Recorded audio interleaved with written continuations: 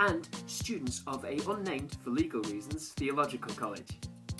For those of you who don't know, I actually work in a theological college in London. Yes, that's right, I work there. I'm not a student despite my youthful good looks. In the last edition of the college newspaper, it mentioned that I was supposed to be putting together a book list for titles you should not read next year. This took me somewhat by surprise, however, I have risen to the challenge. So here, for the students and anyone else who would like to go to theological college, here are three titles you should not read. Title number one The Hungry Caterpillar by Eric Carle. Now, some of you may think reading this book will prepare you for a life of ministry.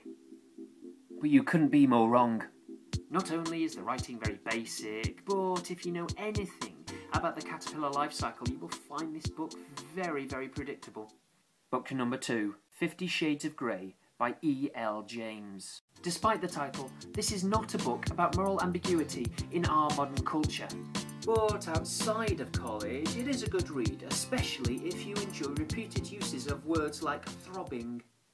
Book number three The Necronomicon. This is an ancient book which holds the secrets to reanimating the dead and summoning the old ones to destroy the earth. Some of you may want to copy Jesus in the sense that you can bring the dead back to life.